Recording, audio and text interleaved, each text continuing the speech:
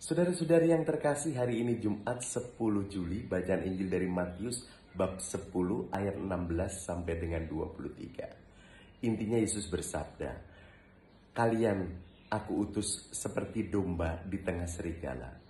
Oleh sebab itu kalian harus cerdik seperti ular dan tulus seperti merpati."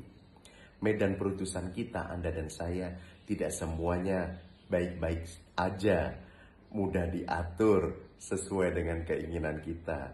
Ternyata ada juga yang kontra dengan kita, sering menolak kita, termasuk menolak apa yang kita lakukan itu baik adanya. Bahkan kata-katanya nyinyir, lalu bikin hoax dan memfitnah kita. Kita seperti ada di tengah-tengah serigala. Saat seperti pandemi ini, kita boleh juga menciptakan strategi dengan akal budi kita yang cerdik, tapi dengan hati yang tulus, yakni tetap berbuat baik kepada siapa pun, termasuk kepada yang seperti serigala itu.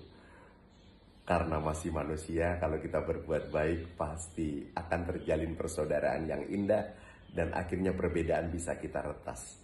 Seruput empon-empon dulu. Salam sehat, Tuhan memberkati.